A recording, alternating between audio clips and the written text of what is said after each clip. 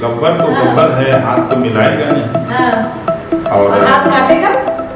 ज़रूरत जैसी पड़ेगी वैसा करे। शिष्टाचार मुलाकात थी वो पॉलिटिकल मुलाकात नहीं हाँ। साधु बाबा हैं। तो साधु का काम है मंदिर में पूजा करना और घंटा बजाना। क्योंकि मुख्तार अंसारी हाँ, अब जा मुख्तार अंसारी अतीक अंसारी हम्म, ये मुसलमान हैं। और ब्रजेश सिंह अभय सिंह धनंजय सिंह ये क्षत्रिय हिंदू। ये माफिया नहीं है सिंह को दुनिया जानती है कि माफिया डाल है। हाँ, उनकी अवैध संपत्ति कब कब जब्त करेंगे? परिवार है चचा है और बच्चा है। अगर दोनों लोग मिल जाए तो सबसे अच्छा है। लाइन एंड लाइन आर्डर में योगी जी और अखिलेश जी थे हाँ। मायावती जी एक नंबर। चार साल में भाजपा ने एक चुनकी भी मार के मजार नहीं बना बाटी चोखा को कच्चा वोट और दारू मुर्गा को पक्का वोट कहते हैं ये बता दीजिए। ये भारतीय जनता पार्टी ने हमको सिखाया लोगों के साथ अन्याय करोगे तो हम सलाह देंगे तुमको और तुमको पीलिया हो जाएगा भाजपा अगर चार सौ देता कोई नहीं पक्का वादा एकदम हैं पक्का। बिल्कुल कैमरे सामने। कैमरा पे हम बोलते हैं। हजरात हजरात हजरात। हम ही आपके साथ श्रुति श्रीवास्तव। और हमारे साथ राजनीति के वो शख्सियत हमें जो अपन अंदाज में सब धुआँ धुआँ कर दे रहे हैं।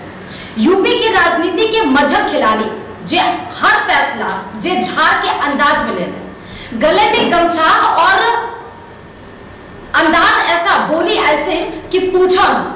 और ऊपर से लोग जिन्हें समझने की कोशिश करत हैं लेकिन ना ही केहू के दिल में आवत है ना ही दिमागे में अरे भैया धोबी पछाड़ ऐसा मारत है कि बड़े बड़े चित हो जाते हैं। केहू नहीं संभल पावत है। और यहाँ तक कि बीजेपी बीजेपी तो जिनके फूटे आँख नहीं सुहाले और गंगा से लेकर राप्ती नदी तक पानी पी पी के कोसल। है इससे कोसलने की पूछो ना कि जैसे कौन से बहुत दुश्मन होगा। क्या नेताजी? सही बोले बाटी कि सही नहीं? और ऊपर से और बताइए आपका तो सुनल जा।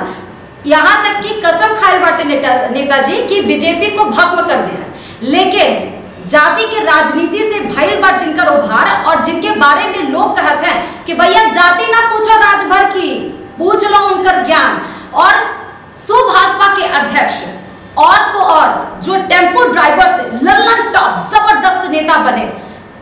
और हमारे साथ हैं ओम प्रकाश राजभर जी, जिनसे आज हम 2022 और उनके जीवन से जुड़ी कई सारे सवाल पूछे पूछेंगे और जिनसे हम करेंगे सीधी बात। तो बहुत बहुत स्वागत है नेताजी हमसे बात करेंगे। सबसे पहले तो ये सबसे पहले ये बताइए नेताजी कि ये कोरोना काल में आप कैसे बाटी स्वस्थ बाटी कि नहीं पहले ये बताइए। अब ठीक बने बिल्कुल ठीक बात है। बहुत अच्छी बात कहें कि अगर नेताजी स्वस्थ रहेंगे तभी तो प्रदेश का हाल जो होगा वो दुरुस्त रहेगा।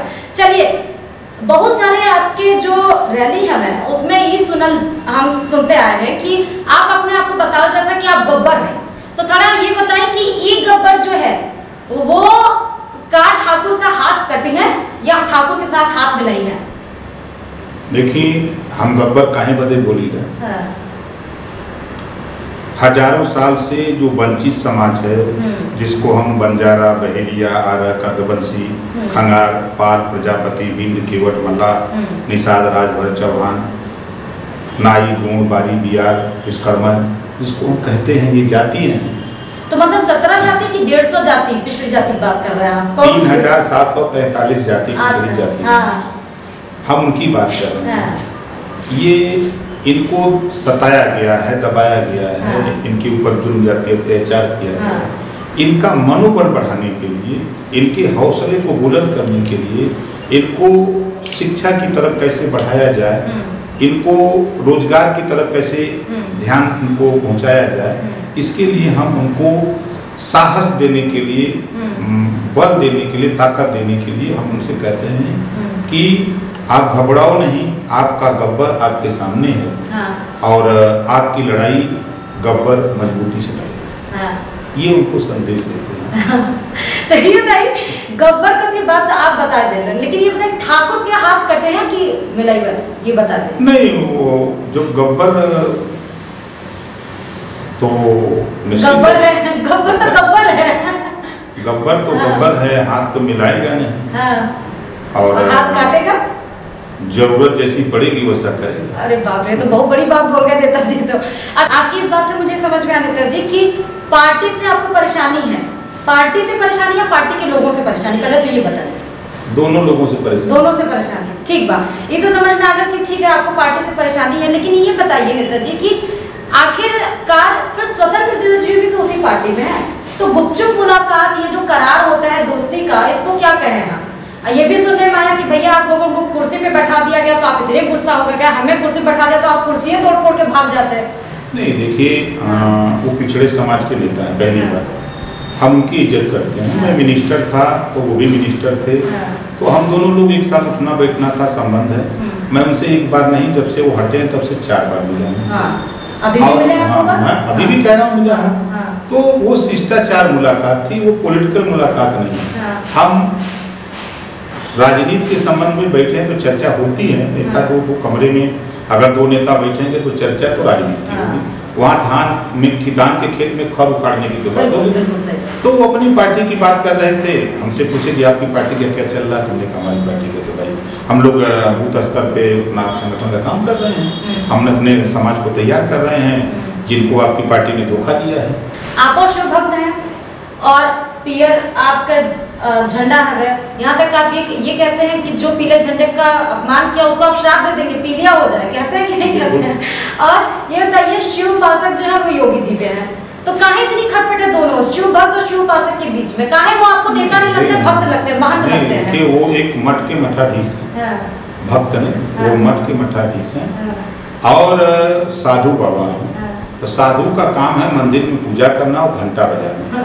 और वो वहाँ से आ गए यहाँ हाँ, हिंदू मुसलमान करके हाँ, साधु का काम होता है।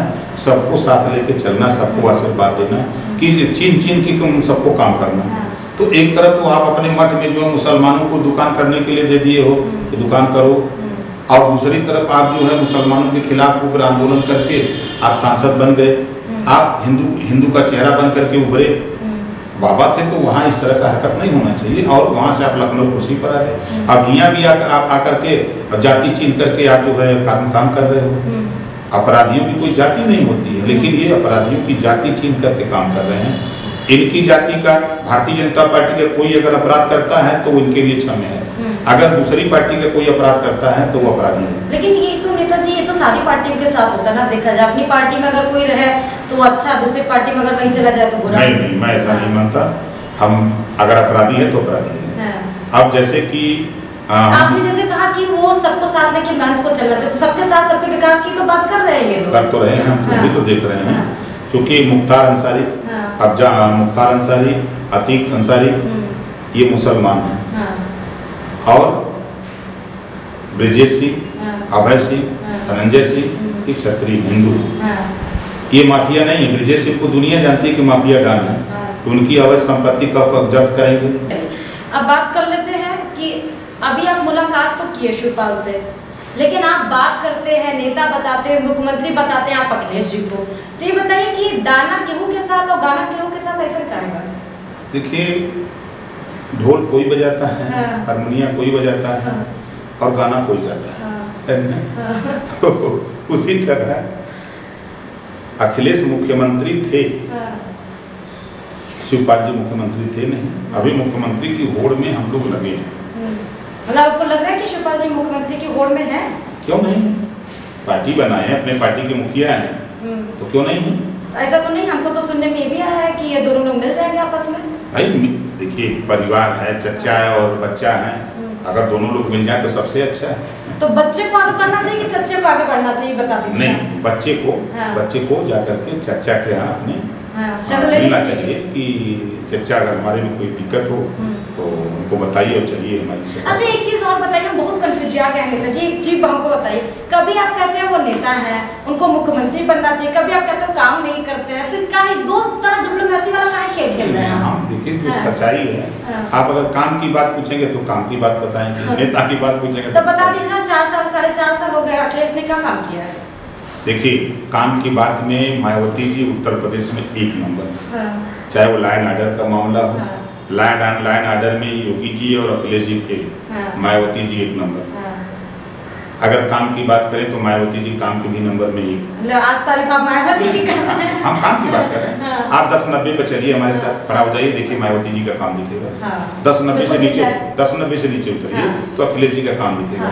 आप अगर दस नब्बे से एयरपोर्ट चलिए तो मायावती जी का काम दिखेगा आप अगर एयरपोर्ट से आगे बढ़िए आगरा एक्सप्रेस पे तो अखिलेश का काम दिखेगा कहूँ भाजपा है कि नहीं है उत्तर प्रदेश में साढ़े चार साल में भाजपा ने एक चूंटी भी मार के मजार नहीं बनाई है। बताई दीजिए आप कि ओवैसी और केजरीवाल की पार्टी के साथ आपकी यारी कैसी चल रही है? कहें कि वो दोनों लोग तो आपकी यारी से मना कर रहे हैं। तो ये मान लीजिए कि जो आप मोर्चा खोलने वाले थे बोलने वाले थे जो खुलने वाला था क्या उस पर मोर्चा लग गया है? नहीं नहीं हमारा मोर्चा बरकरार है। हाँ। भागीदारी संकल्प मोर्चा में दस पार्टी के लोग हैं। हाँ, और परिवार को बढ़ाने की कवायद में हम हैं। उसमें हम के जो आपके प्रभारी हैं संजय सिंह उनसे भी मिलते रहते हैं। अच्छा। हम शिवपाल जी से भी मिलते हैं हाँ। चंद्रशेखर रावण से भी मिलते हैं। हाँ। जितने दल यहाँ हैं सबसे हम मिलते रहते हैं कि भाई आप अगर अ, चुनाव लड़ना चाहते हैं तो हम सब लोग मिलकर लड़ा जाए अकेले अकेले कुछ कर नहीं सकते। हम्म। तो हम अपने हमारा मोर्चा अपनी जगह तटस्थ है कोई दिक्कत नहीं। राजनीति में ये कहल जाला नेताजी कि राजभर के किसी के साथ नहीं पटला। तो काहे इतनी शर्त और समीकरण के साथ आप चले जाता? हमारा तो सबके साथ पटा है। कहाँ पटल है? अच्छा बता अगर गलत कोई कर 2004 से लेके बसपा से जरा सनी बताई। देखा मीदू का नौ दो ग्यारह तो आप हो गए ना जब भदोही को संत रविदास बनाने की बात कही गई उसके बाद आप भाजपा से अलग हुए तो ये जो नौ दो ग्यारह वाली जो कहानी थोड़ा समझाएँगे आप? नहीं देखिए हाँ। हम चौदह साल कांची राम जी के साथ हाँ बिल्कुल एक दो दिन नहीं चौदह साल। उसी को सोच के तो आप राजनीति में इक्यासी चौदह चौदह हाँ। साल मानवर कांसी राम जी के साथ उन्होंने एक बात कहा कि आ, जिसकी जितनी हिस्सेदारी उसकी उतनी भागीदारी। हाँ, तो हम चौदह साल वहाँ इंतज़ार किए लेकिन हमको जब हिस्सेदारी नहीं मिली हाँ, तो मैं फिर वहाँ से हटा। हाँ, फिर मैं सुनीलाल पटेल जी के साथ हाँ, गया तो उन्होंने भी कहा कि हम हाँ। आपको हिस्सेदारी देंगे। अभी राजनीति की हिस्सेदारी जब देने की बात आई तो वो भी मुकर गए। हम्म, तो फिर हमने कहा कि दूसरे से भीख मांगने से बढ़िया है कि बाबा साहब डॉक्टर अंबेडकर ने संविधान दिया है लोकतंत्र है सबको अधिकार है। तो हम भी एक अपना झंडा डंडा बना लें तो हम क्यों दूसरे से मांगे? हम खुद अपना करने लगे। तो हम अपना बना लिए। बना करके हम लोगों ने अपना प्रदेश में आंदोलन चलाना शुरू किया। तो हमारा सबसे पड़ती है स्थिति है कि न पटने की जो पटने की नहीं पटती है। वो लोग खुद नहीं चाहते कि बड़ी पार्टियाँ जैसे बरगद का पेड़ है हाँ, वो पेड़ कभी नहीं चाहता कि हमारे नीचे कोई दूसरा पौधा पनप करके हमसे ऊपर चला जाए। हाँ। उसी के शिकार हम लोग मोदी जी से नाराज़गी की योगी जी से। हमको इन दोनों की सरकारों से नाराज़गी है। सरकार एक का है पार्टी तो एक का है। हम दोनों के कामकाज से असंतुष्ट हैं पूरे देश की जनता असंतुष्ट है। और जनता जिस मुद्दे को लेके उनके पास गई उस हम्म। मुद्दे से ये लोग भटक गए हैं। हम्म। सत्ता के मद में पागल हो गए हैं ये जनता बहुत जागरूक है। बड़े बड़े लोगों को उलाट दिया है इनकी क्या औकात है? बिल्कुल सही बात। बलिया के रहने वाले हैं आप नेताजी। बाटी चोखा हमारा बहुत फेवरेट है। आपका फेवरेट तो बहुत है हमको पता चला अभी। बाटी चोखा हमारा पसंदीदा भोजन है। ना? और बलिया का भी बड़ा फेवरेट डिश है। तो ये बताइए कि काहे आप बाटी चोखा को कच्चा वोट और दारू मुर्गा को पक्का वोट कहते हैं? ये बता दीजिएगा ये भारतीय जनता पार्टी ने हमको सिखाया है। अच्छा। अच्छा कैसे कैसे?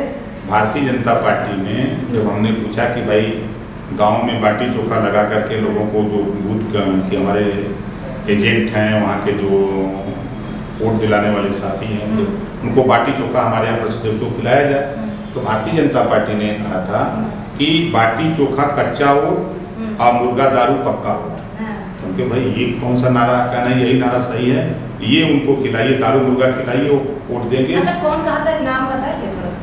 थोड़ा सा। तो भारतीय जनता पार्टी ने बता देंगे किसी हाँ, दिन। अरे किसी दिन याद आएगा तो बता देंगे। अरे ये तो तीन हज़ार तीन सौ सात जातियों का नाम जिसके एक ज़ुबान पर रटा रहता है वो नाम नहीं आता है। जरा झूठ में हाँ, भूल नहीं भारतीय जनता पार्टी अब जान लीजिए भारतीय जनता पार्टी के नेता ने कहा था हाँ। तो उसको हमने अच्छा ये कब की बात है? कब कहा गया था आपसे? ये दो हज़ार अठारह की बात जब मैं सत्ता में था। हाँ तभी तब तब उन लोगों ने कहा। और आप ये बदनाम भी लिए जा जाके रैली बोलते हैं भैया दारू मुर्गा पक्का वोट हम बाकी गरीब- को समझाते थे हाँ। कि देखो भाई इस तरह का प्रचार अगर हो रहा है हाँ। तो इसको आप लोग रोको हाँ, और इस तरह की बात अच्छी नहीं है जब आप दारू मुर्गा पर वोट दोगे हम्म। बाटी चोखा पर वोट दोगे तो फिर तेरा विकास कैसे होगा हम्म। तेरा पुल पुलिया नाली खरंजा चक्रोट आवास कैसे बनेगा हाँ। तेरे बेटे को शिक्षा कैसे मिलेगी रोज़गार कैसे मिलेगा हम्म। फिर तो नेता की आदत पड़ जाएगी कि चुनाव आएगा हाँ। तो फिर आपको दारू मुर्गा खिला करके वोट ले लेगा ये उनको समझाने का प्रयास ठीक है हरदम तेज तर्रार लड़काने वाले और ये भी बता दें कि तेज से तेज जो सवाल पूछते हैं आज हम उनसे ये पूछेंगे कि उन वो असल ज़िंदगी में कैसे हैं अमृता जी? असल ज़िंदगी में आपको दुनिया जानना चाहती है पूरा देश कि आपके परिवार में सबसे ज़्यादा क्लोज किससे हैं? सबसे ज़्यादा आपको इमोशनल सबसे ज़्यादा किससे हैं? और आपके दिल में परिवार के लिए क्या कोई एक किसी का सपना ऐसा है जिसको आप चाहते हैं कि पूरा हो जाए? देखिए हमारे भगवान हमारे माँ बाप हमारे माँ बाप का सपना था उनकी सोच थी कि हमारा बेटा हर माँ बाप की सोच होती है कि हमारा बेटा पढ़ लिख करके ऊंचाई पे जाए। हाँ। तो हमारे परिवार में कोई नेता नहीं था। हाँ।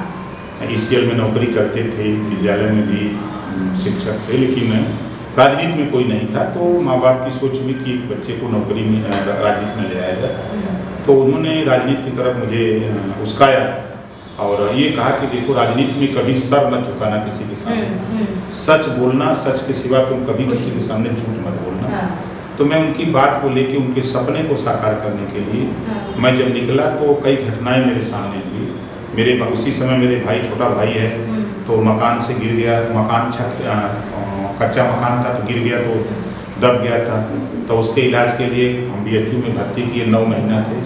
मैं ग्यारह महीना लगातार रात को बनारस में ऑटो रिक्शा चलाता था और दिन में पढ़ने जाता था जब स्कूल जाता था।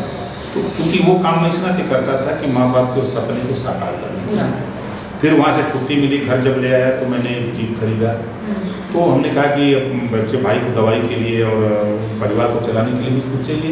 तो मैं एक जीप खरीदा और जीप खरीद करके हम लोगों ने अपने ही रोड पर एक फूलपुर सिंधुरा रोड पर चलाना शुरू किया। कुछ मैं जीप चलाता था और उसको भी चलाया तो फिर उससे भी हमने छुट्टी लिया तो फिर कमर्शियल खेती किया। हम सब्ज़ी की खेती खूब करते थे और सब्ज़ी खेती मार्केट में ले जा करके उसको बेचते थे।